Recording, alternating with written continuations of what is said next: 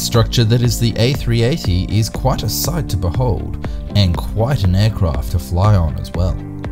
But all that space means there's a lot of room for airlines to put their own stamp on the aircraft too. Around the world, we've seen a huge variation on the A380 layout, with one airline even proposing an all-economy 840 seat layout. Throughout the 14 customers who purchased the A380, each has had its own way of configuring the interior. Thankfully, most have been fairly kind to the passenger, with decent legroom and a fair amount of premium seating. However, one airline wanted to configure the aircraft in the most passenger unfriendly way. Air Austral did, at one time, have an order for two of the giant jumbos. Not only that, but it planned to outfit them with no less than 840 all economy seats. The airline planned to use these horrific aircraft to shift people between its Indian Ocean hub and Paris in one of the least comfortable ways possible.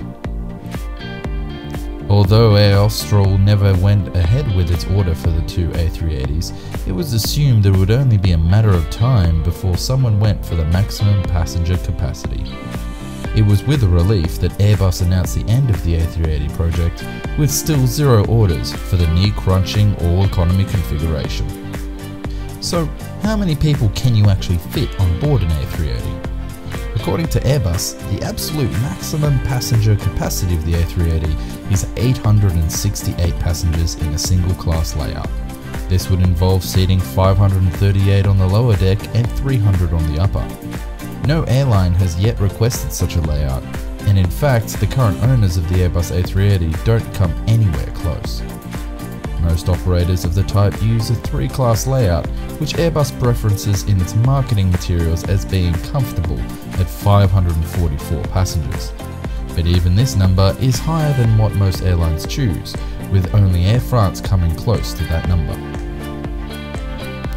Of all the A380s currently in service, the number of passengers carried varies between 379 passengers and 615 passengers. But who squeezes the most passengers onto their A380? Let's take a look. The A380s carrying the most passengers right now belong to Emirates. These specially configured A380s started operating for the Dubai based carrier on routes to Copenhagen, doing away with first and replacing the cabin with more upper deck economy seating.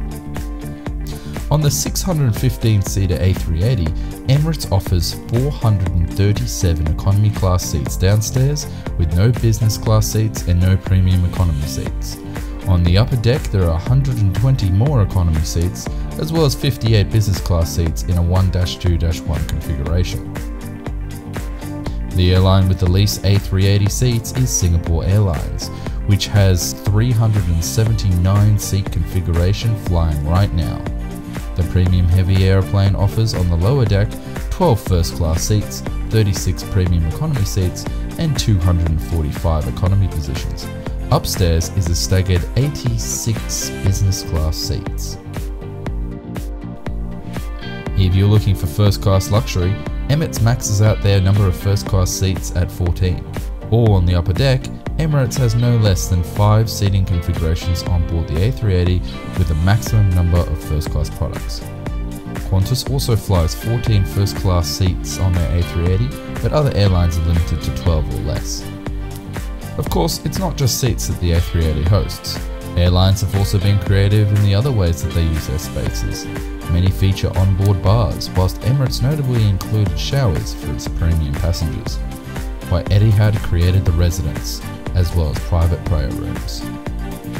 What's your favourite layout of the A380? What cool features have you seen? Let us know down in the comments. And if you like this video, consider clicking the subscribe button.